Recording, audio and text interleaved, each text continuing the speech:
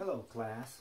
In this video we're going to talk about factoring, specifically the greatest common factor uh, type of factoring. so before we get started let's talk about what factoring is. Factoring is breaking down or dividing a number into its factors. Now to get the concept of that we're going to go over what's known as prime factorization. Uh, that's something you probably heard of when you were in like in middle school. Uh, basically if we have a number like 48 and I ask you to factor 48 for me, meaning to break it down, let's go ahead and break that down. I want to break down 48. I would look for numbers that divide, uh, you know, that divide 48 by. And I normally would start with something like maybe 2. Uh, but in this case, I know my multiplication table, so we're going to start with 6 times 8. Okay, then we're going to break that down some more. We're going to get 2 times 3. We're going to break the 8 down. We're going to get 2 times 4. Okay, now 2 can't be broken down anymore, so we just rewrite that. 3 can't be broken down anymore, so we can't rewrite that. So another 2. 4 can be broken down into 2 times 2. At this point, 48 okay, has been broken down using what's known as prime factorizations. Okay, but we actually just broke down 48. We factored it. So that's what that's that's the concept of factoring. So breaking down. Now in this particular example, okay, let's look for a minute. What is a prime what's a composite? These numbers down here are prime numbers. They're prime numbers because you really can't divide them uh, with any number other than 1 or itself. That's basically what a prime number is. And a composite basically are numbers that you can divide with other numbers other than 1 or itself. Alright? So, let's look at another example of prime factorization right quick before we keep before we move on to greatest common factor. So let's take this number. Uh, let's take this uh, number negative 52ab cubed. So negative 52ab cubed. And if we break that down, there's different ways to look at it. So we want to just look at the number first, and let's break down this number. And uh, 52, if we break it down, it'll be 2 and uh, 27 okay? And we have to make one of them negative so that we get a negative 52 I'm gonna go ahead and just make this uh, 2 a negative. And so negative 2 can't be broken down anymore. And what about 27 that's basically a 3 times 9 and 2 3 and I'll break this down. So now I have factorized I did a prime factorization on 52 and I mean negative 52 and this is the uh, prime factors that I got. Now, what about a? Since a is only to the first power, that is the only a that exists. Okay? So that's the only a that exists since only to the first power. What about b? Since it's to the third power, so that's basically b times b times b to get b cubed. So here, to break it down, I'll just say b times b times b. Since I have three b's, b cubed, I have three b's. This is the factored form of negative 52 AB cubed. Alright, if you miss any of that, go back and rewind, pause, whatever you need to do. So let's now get into uh, what's known as greatest common factor. And what is a greatest common factor? Well, basically a greatest common factor, is, it, what it is is just by definition, it's a common factor between whatever numbers you're comparing and it's the biggest one you can find. So let's look at our example here with the constants and variables. We're going to start with a constant first. So 40, if I ask you what is the greatest common factor between 40 and 64? So 40 and 64. Okay, and I'm just going to write them out here so you can see how, we, how we're doing this. All right, to figure out what the uh, greatest common factor is, let me write it this way. Okay, what we need to do is find the factors of 40 and 64 okay? And we basically do that by you know trial and error. All right so with 40 let's write 40 down here first right? Uh, with 40 uh, we know what two numbers multiply to 40 we'll say 1 and 40 all right and we got 2 and 20 3 doesn't work.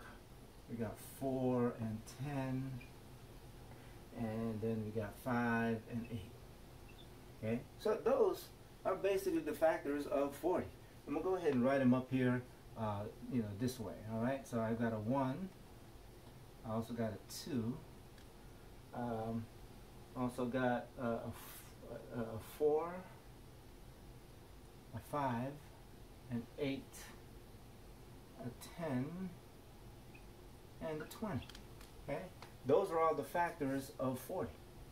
Let's do the one for sixty-four. We're going to look for factors of 64, meaning what numbers multiply together to get 64. Well, let's do that now. Let's see, we get uh, 1 and 64, of course, right? Which we never use. Uh, 2 and 32. Then we got 3, uh, actually 4 and 16. And then we got 8 and 8. So if I multiply any of these two numbers together, right, I get 64. So I'm going to list it over here. So I have 1, and then I've got 2, then I've got um, 4, then I got 6, then I got 8, I got 16, and I have 32. Since I wrote them all up here, I'm going to go ahead and erase them from down here.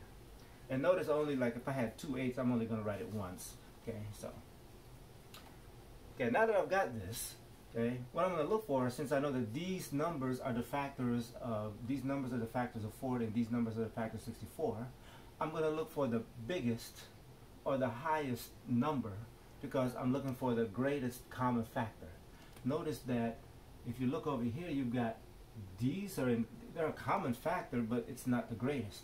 This is also a common factor, but it's not the greatest. So if I move on down the line, the biggest numbers that I see that I see that are common between these two numbers between 40 and 64 is 8. So that is going to be my greatest common factor. So my greatest common factor for these two numbers is 8. That make sense? All right. Now, let's do one for variables. Now this one's a little bit uh, simpler. Okay, I'm just going to write a line right here. Okay, so what you got to do is we're gonna we're gonna we're gonna look for greatest common factor between this number and this number. So it'll be a squared b to the fifth power. Okay, and then this other number is a cubed b to the fourth c. Uh, in this instance, when you have variables, all you have to do to find the greatest common factor between them is pick the one with the smallest power. All right? But the rule is factors must exist in all the terms. So whatever is whatever I use for my GCF, so my greatest common factor for this variable, okay, both factors must exist in both terms. The only factors that exist in both terms is the A and the B.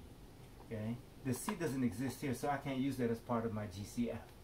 So my greatest common factor for this particular number between these two numbers is going to be a squared since it's the lowest power between this one and this one and b to the fourth since this is the smallest power between this one and this one. Okay so this is my GCF for the variables that I compared this is my GCF for the variable I mean for the numbers between 40 and 64 if you have any questions on that pause rewind go back and see what we talked about. All right now so this gets us into the factoring portion of the greatest common factor, you know, factoring, uh, where we're going to look at a polynomial and we're going to factor, um, we're going to, we're basically going to uh, factor it using GCF factoring. So I've used these two numbers we previously uh, used in our example, but I'm going to rewrite this up here. So let me just erase all this. Huh? I'm going to leave it up here. Put a line over here. So here's, here's the numbers that we're trying to, this number and this number we want to find a GCF of, and it's basically being subtracted. So we got 64 a squared b to the fifth okay, minus 40 a to the third b to the fourth c. Alright? So what we want to do is we want to find the greatest common factor between this number and this number. And what we want to do is we want to break this down using GCF. Okay? We're not just finding the GCF, we're going to find whatever whatever remains. So, between these two numbers, we need to find the GCF. Well, we already did, we already, we already found the number, uh, the GCF between these two numbers, which is 8. So I'm going to go ahead and write that down. Okay? And also between the variables, which we did, we did that already, between this this set of variables and this set of variables, okay, we already found it to be a squared b to the fourth. So this is my greatest common factor between this number and this number, or this term and this term. Now, when we're factoring though, we must write what's left. Okay? So what we're going to do is, when we're breaking this polynomial down, okay, what we did is we took out the 8a squared b to the fourth from this one and this one, and we got to write in here what's left of these terms. And to do that, all we have to do is we have to divide uh, this term by the GCF and put it here. And then we have to divide this term by the GCF and put it here. And then we'll have our answer. So let's go ahead and do that now. So here I've got 64 a squared b to the fifth divided by 8 uh, a squared b to the fourth. Alright, so 64 divided by 8 is 8. a squared, a squared, they, they cancel. b to the fifth divided by b to the fourth is just b. So now, this is what remains when we divide uh, this term by GCF. Now let's do the same thing for the 40 over here. I'll put that minus sign here already. So we're going to write what's left here, right? So it'll be 40, a to the third, b to the fourth, c divided by 8, which is the GCF again, uh, 8a squared b to the fourth. Okay? So let's go ahead and see what we get when we do that. Well, 40 divided by 8 is 5. So we knock that out. Then we got 8 to the third divided by a squared is just a. That's gone. b to the fourth, b to the fourth. That's the b to the fourth? Yes. And that's gone. And we have c up here. Alright? So what we have is the factored form of this polynomial, okay, this binomial right here, is going to be this number times this number. Okay, so we just broke this down into its two factors. Does that make sense? Now, if I was to multiply this number times this number, I would get this. This number times this number, I would get this, you know, through distribution. And that is the lesson on greatest common factor. Thank you.